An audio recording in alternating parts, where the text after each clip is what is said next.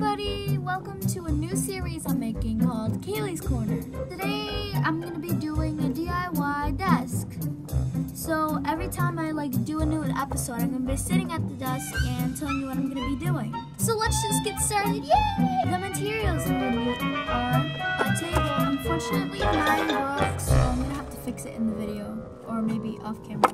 Some mini scissors, not actual big scissors mini scissors, a sewing machine, miniature knitting basket, or whatever you call it. And by the way, I got everything from this place called Michael's. It's by where we live. If you live in America, you most likely have it around your nearest mall or something. But yeah.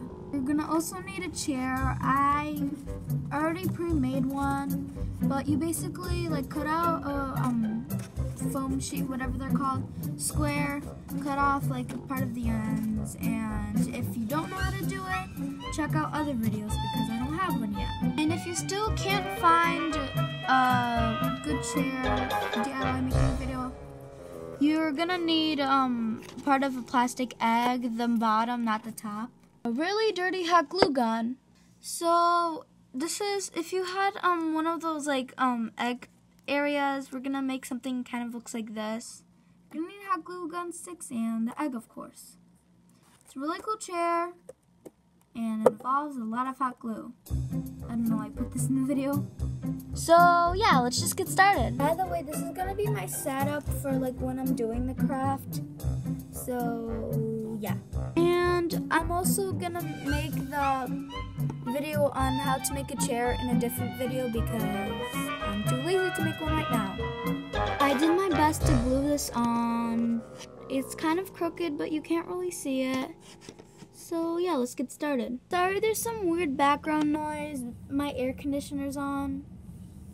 Yeah, sorry. So first you hot glue um, the sewing machine to the table, not too much because sometimes it can rip off um, the sealant and the wood can just start chipping. Next, you don't hot glue this on, but you put the scissors on the table a little bit open, somewhere where you think it's comfortable. I think I should put it maybe over here. It's not really safe to keep scissors open on your table. Next, you're gonna wanna put tiny, tiny bit of hot glue on this so it doesn't chip like I said earlier on the the sewing kit thingamabob and you're gonna want to glue it over here. So I the same sorry. You hear that alarm? Yeah that's a bonus item. You're gonna want to add a pencil somewhere in that area. Also in addition I add too much stuff because the desk is really empty. I'm going to add a book Yes, a book because why not? Ugh. I'm really terrible at crafts.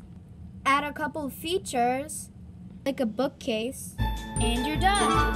Bye, my fuzzies.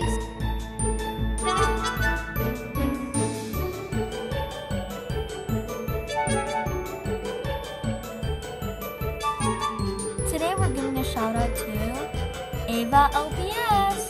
Congrats, you got a shout out.